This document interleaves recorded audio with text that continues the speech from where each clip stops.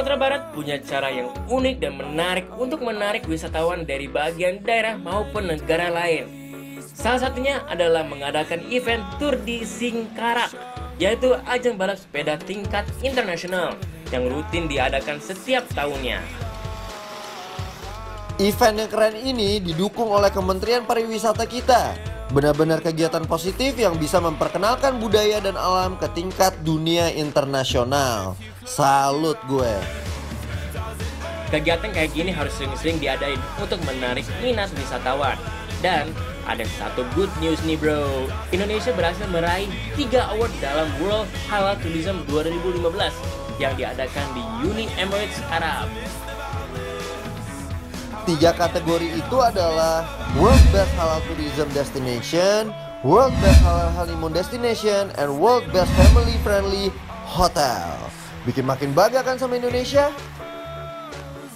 Wah, gua salut banget sama para peserta tur di Singkarak ini. Meskipun udah mengayuh sepeda berkilo-kilometer, tapi sampai di finish masih pada semangat aja nih. Saking mereka konsentrasi dan semangatnya, gue sama David sampai dicuekin teriak-teriak kayak gini di pinggir jalan untuk supporterin mereka. Tapi nggak apa-apa, sukses buat para peserta lomba, siapa pun yang menang, buat kami kalian semuanya hebat. Nanti dari finish ini mereka ke langsung ke danau, danau, Danau Singkarak, Singkarak ya. Oh, berarti mereka pengen di sana, ya sekarang cuma selebrasi aja. Ya ke danau Singkarak ini.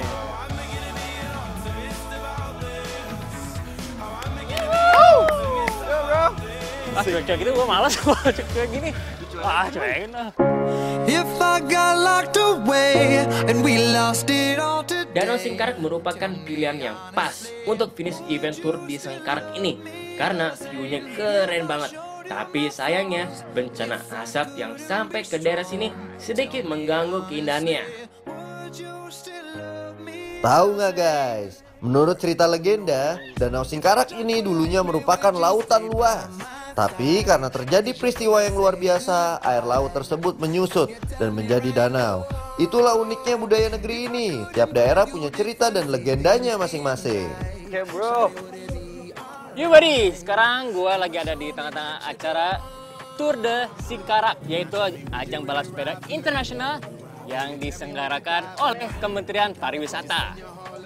Nah, di tahun 2015 ini, ini merupakan event Tour de Singkarak yang ketujuh kalinya diadakan di Sumatera Barat, bro. Wih, Dan keren loh. lebih kerennya lagi lo tau nggak apa? Untuk tahun ini ada 36 negara lain yang ikut dalam event ini, bro. Wih, Ada dari Jepang, eh, Uzbekistan, dan Iran dan masih banyak lagi. wah mantap. Mantap kan? Oh, nice, nice, nice. Keren kan?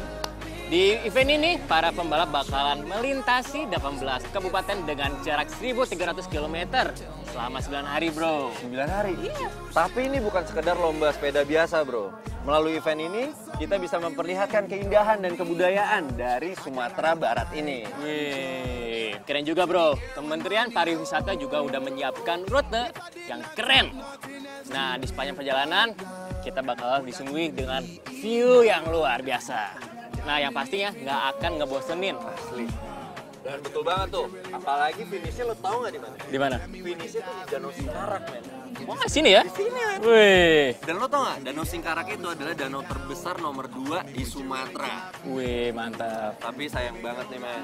Dengan Hari ini ya. ini kondisinya sangat memprihatinkan. Asap yang dari Riau itu mempengaruhi Daerah sini, daerah Padang sini ya. Gue jadi penasaran nih, pengen naik-naik sepeda kayak mereka nih. Mau nggak? juga gitu. Kita cari sepeda yuk. Oke? Kita muter ke sini. Siap. Oke. Alright. My trip My adventure. bersama Pesona Indonesia. Indonesia.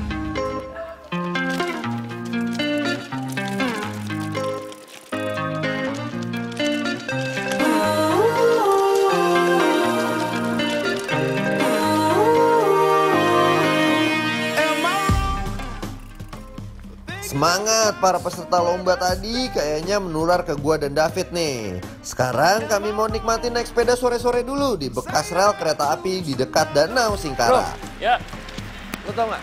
apa? Ini nih sebenarnya uh, kita tuh lagi jalan di atas rel kereta api. Ah, Nah, rel kereta api ini ya, dulu uh, menghubungkan uh, Padang Panjang sama. sama Sawalunto, bro. Oh ya? Iya, Ya sayangnya, tapi ini udah nggak beroperasi lagi. Iya nih kayaknya ya. Udah nggak apa kita sana yuk. Seru aja kita Kita jalan. bro.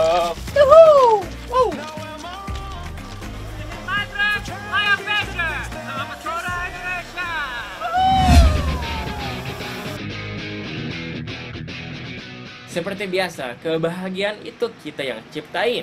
Dan gua mau menciptakan sekarang dengan naik sepeda di turun kayak gini. Hehehe. Dasar David, waktu kecil kayaknya nih anak makannya keris kali ya. Nggak ada ngeri-ngerinya sama sekali. Naik sepeda kayak gini kayaknya mulai ngehits lagi di anak-anak muda zaman sekarang. Banyak banget yang posting foto lagi naik sepeda and jumping post ke media sosial. Ayo, kalian pasti salah satunya kan? Tapi gue sih setuju banget kalau anak-anak sekarang jadi hobi naik sepeda. Apalagi sepeda ini bisa masuk ke segala situasi. Dibawa santai bisa, dibawa ngeri kayak David gitu juga bisa. Yang penting sadar kemampuan, jangan sampai mencelakakan diri sendiri ya bro.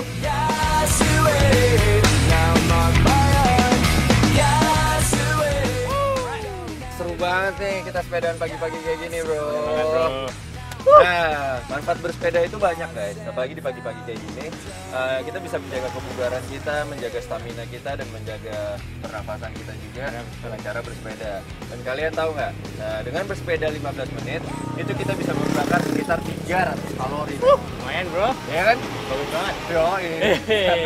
nah ada juga dengan apalagi dengan lingkungan seperti ini, dengan hutan-hutan, bagus banget buat pernapasan kita bro. Betul. Ya kan, kan udara pohon-pohon tuh buat uh, lebih, oksigen lebih murni Ya. dan kalau kita mengisap, wah bagus buat uh, badan kita. Nah, dan juga bro, pas kita baru bangun pagi-pagi bangun tidur, kalau kita olahraga, bagus juga buat uh, keluar darah kita bro. Dan kita bisa mikir, ya kan, dan pa- bisa konsentrasi lagi. Betul.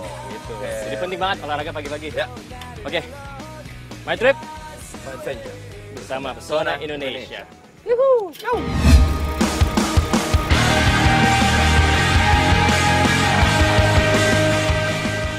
Hehehe. Maaf ya Balis, kalau jalur yang gue lewatin ini sedikit maksa. Maklum, udah bawaan lahir, sukanya yang aneh-aneh. Hehehe. Ayo buat yang di rumah coba deh naik sepeda. Selain sehat, hati dan pikiran lo bakalan happy banget. Percaya sama gue. Bersama Pesona Indonesia.